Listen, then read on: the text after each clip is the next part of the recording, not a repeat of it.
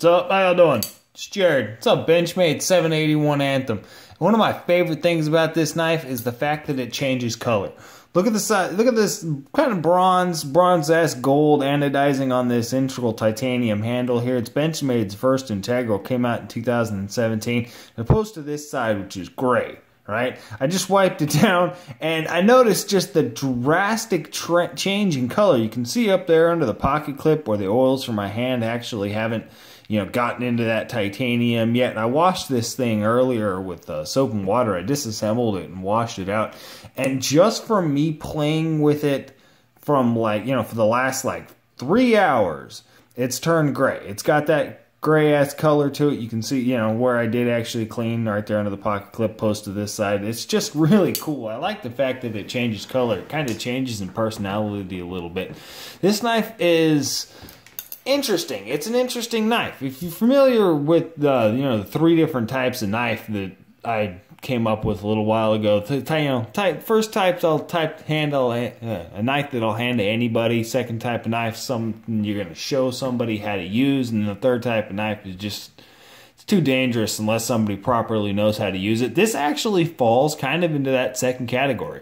Most manual action folders are just gonna, I'm just gonna be able to hand it to somebody. I mean, you can hand somebody this Chris Reeve Sebenza right here, and they're probably gonna be able to figure it out. There isn't as much of a risk of somebody hurting themselves with a knife like this, but this knife doesn't fall into that. This is actually a little bit dangerous because the moment you unleash this lock, on you know, undo the that axis lock right there, this thing's running on ball bearings. And so it's very free floating. It moves around like just nothing's even there, right? And I've got a couple other knives actually. They're almost just as free floating. This is a Benchmade Griptilian right here. And it's got zero blade play, blade centering on it's basically you know I mean running down the line there if I can actually get a good angle on it. It's basically perfect, which leads to this amazing action right here. Running on phosphorus bronze washers Again, zero blade play, and it's that free floating. So this knife still falls, I mean, it falls shut, but it just doesn't move nearly as fast as this knife here. Being all ball bearings, this thing flies around. And I actually handed this to somebody a little while ago, and they disengaged the lock on it and almost cut themselves. They got, you know, just the edge of their pinky right there, you know, was actually still in the mechanism. So it came down and got him just a little bit. You know, it wasn't too bad, but it did pinch him. You know, I mean, cut them a little bit. And so this yeah, this knife really takes a bit of getting used to because it's just different. It, it, functions different than a lot of than a lot of other knives because it is ball bearings moving so quickly with this axis lock. I really like it. It's fun to fidget with. This is one of the fun funner fidget knives that I've had to play with. Other people have said that, and they're, I mean, they're completely right. This knife is a whole lot of fun to fidget with, back and forth and back and forth, and you can deploy it with the axis lock and do all these crazy, you know, little twists and things and get it out. It is definitely a good knife for that. It's got a lot of, hitting my tripod. It does have a lot of just general EDC use built into this blade shape. It's a relatively thin blade made out of 20 CV, and you can see there's no markings on this side. It's almost sterile besides that 20 CV. I think this blade looks great without those axis lock patents running all over the blade. But the actual, the overall design itself just really kind of screams gentleman's EDC. But the fact that it is so fast and it's quick into action with a 3.5 inch blade and as narrow and as kind of stabby as this little tip is here, it's it is going to penetrate in material quite well. It kind of fits into a class to me which this thing is actually advertised as. This is the first knife I'm going to compare this one to. This was advertised as a gentleman's tactical folder, right? Gentleman's tactical knife. This is a Benchmade Impel. It's a California legal sub 2 inch automatic. And that's actually what I think this knife, really where this thing kind of excels. It's in that gentleman's tactical category. The same area as like the 940, this Benchmade Griptilian right here. If you get the Dash 1 series, not as much the uh, standard, you know, 551 model here, the Gravity scales like I got. That's more of a workhorse than actually a gentleman's folder. But this is just a nice knife. Does have a $425 price point, which is kind of, I mean, that is a lot of money, but again, you're you're buying an integral titanium Benchmade, you know, it's just going to cost a crap load of money. And with that, I, I, I didn't buy this knife. I actually got this knife through a little bit of horse trading I did with some other knives. But I definitely think it is worth that price tag. I mean, I would, I would pay that if I didn't actually, because it wasn't actually able to trade for it. One of the things I first had to do off the, just right off the bat, you can see that pocket clip there still isn't quite touching the scale. But when it came out, when I actually got it, that thing was like, you know, way off the scale. And it led to this. Listen.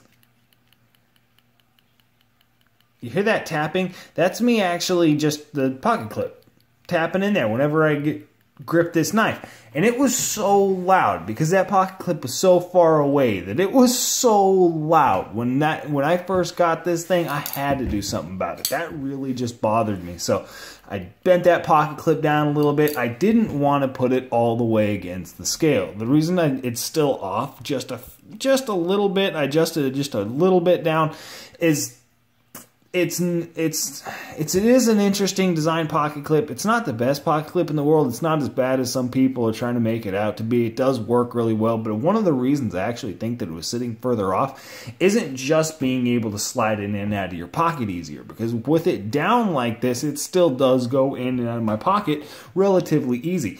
But when it does, listen to this, right? That? That's it coming out of my pocket right? And what that is is that the the clip actually slamming into the titanium. Every time it comes up and over the lip of my pocket, it dings down into that titanium, which I absolutely love. I love pulling this thing in and out of my pocket because I get to hear that little it's just freaking cool. I've actually, I really like that, but I'm kind of strange in that way, right? And it's going to beat the shit out of that titanium. That right there, that little impact over time, ding, ding, ding, ding. Me doing that, taking this thing in and out of my pocket is going to put a mark right across that titanium right there. It's going to beat a little shelf actually into that titanium scale.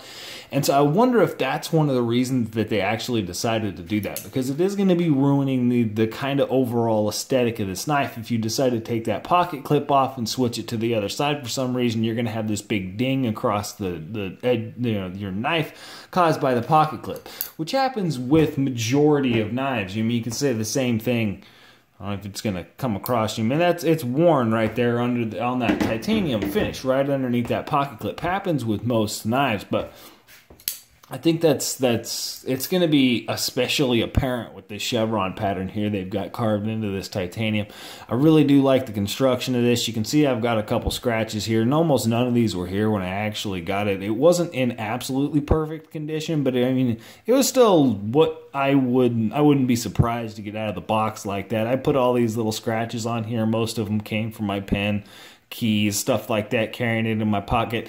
I do like this knife. I've been carrying it around the last few days, and it's it is probably going to wind up in my EDC lineup, but a lot of people have made the comparison to this blade shape to the Chris Reeve Sebenza. And really, I think that's just like a I think that's more of a subconscious play that people have, seeing that these knives are kind of in the same price bracket. Because you look at the spine of this knife, this is a clip point, this is a drop point. I've heard some people actually call this here a clip point, and it's really not, because that blade shape, it does have a definite angle change here, but it's a dropping point all the way down. That is not a straight angle, it's a dropping point. And it's much more reminiscent in the spine area to this. It's actually a Chris Reeves Inkosi right here. If I line the spine of these knives up, you can see just how similar the curvature of these actual blades are, as well as just the design and profile. This is obviously a hollow ground here, and it's much broader, but it's still just that, you know, sweeping drop point design, which is an interesting actual aspect of this blade shape here, because there's a lot of flat on this blade shape. Some people have said that they love it. I'm I mean, I, I can't, I don't dislike it. I don't dislike this blade shape, but the amount of flat that you have here, and then this little tiny bit of belly actually coming up to meet that tip, it's definitely a thin tip. I like how it's thin, it has good penetration ability. I mean, it is a nice pokey tip. That's that that's a good thing.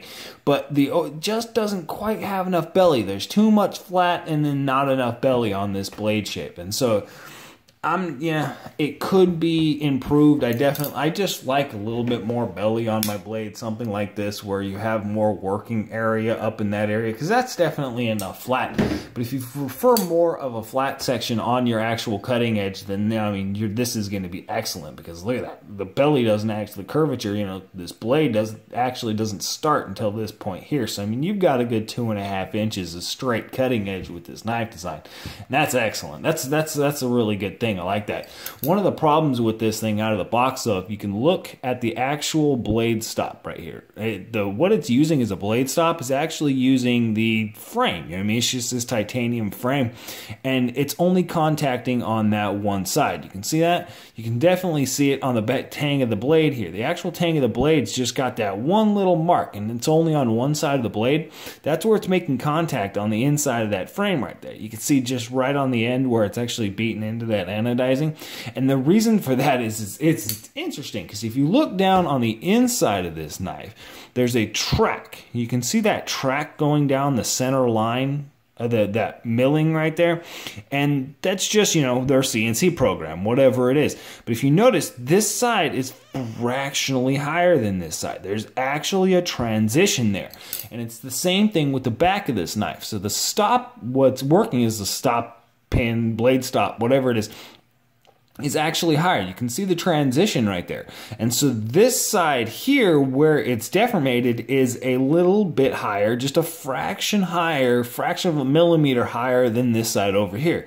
And so it's leading it to only make contact and actually for the stop on one side, which isn't necessarily the biggest problem in the world. It is a fit and finish issue there. It's a fitting issue, but it's not a huge problem because the axis lock has some built-in relief, you know that act, you know, that shelf right there that, that that bar is actually sliding up onto to give you that lock to actually engage the lock it's sliding behind the blade right there.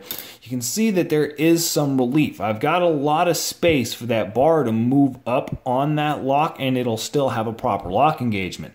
And so that little shelf of titanium once that's deformated all the way down and it eventually levels out you know what I mean I'll have it'll have this is all theory. None of, I don't know this for sure, but it'll have, you know, I mean, it'll have a full support across that entire bit of titanium there. And it's, that's going to, you know, keep the not keep the length, the longevity of this lockup for a decent amount of time. I think that that's okay. But it is just a little bit of a fit and finish issue. It's interesting that their milling was off that far. That's that's that's a decent amount. You know I mean? That's a decent amount for a CNC machine. You can see it. Other than that, blade centering is perfect. Blade, I mean, it's dead on center. Action's excellent. The grind is not. You can see, you can see how how much breadth this side has here. A lot of people have been talking about that with this knife. And I mean, that's just Benchmade. It really, oh, it's a $425 knife. It's like their flagship folder. People are expecting them to put more quality control into this specific knife than any of the other knives coming off the lot, and that's really just asking too much. Unless it's a gold class knife or a limited edition, something like that, they're going to give these to the same people that they're giving every other knife because those are the people that work in the factory. And so expecting a different grind or any extra quality control for a $425 knife opposed to a $125 knife is just asking too much with modern production standards, you know, or the way that the production industry is going. It's not asking too much. That would actually be an amazing thing, and I do wish that they would do that, but I, I just don't ever see that happening from a company like Benchmade. Even though I'm not trying to talk shit, I love the crap out of Benchmade. Another thing, 2017, I wanted to throw this one up there because some people have said that this is the most expensive blue class knife, and it's not. This is their most expensive blue class knife. This has got an MSRP of 500. This has got an MSRP of 600. And it's interesting that this is also channel constructed. Because if this is, you know, comparing this knife to a Valley Song, you'd say it's a channel constructed folding knife because it's really, that's kind of what it is. This is a channel constructed Valley Song. Each one of these handle scales here, or each one of these handles, I guess, is a solid piece of titanium that's just been milled out to actually meet, you know, to actually create a channel for that blade. It's the same thing with this knife here. It's just, a block of titanium channeled out. And it's interesting that they came out with them both in 2017. They're both running on ball bearings and they're both channel constructed blades. I think that's quite interesting. Yeah, 2017 was the year of the Benchmade Integral. Yeah, I'm going to carry this one around for a little bit. I'll probably do another video on it. I love that pocket clip. It looks so good sticking out of my pocket. I like it. Listen to that.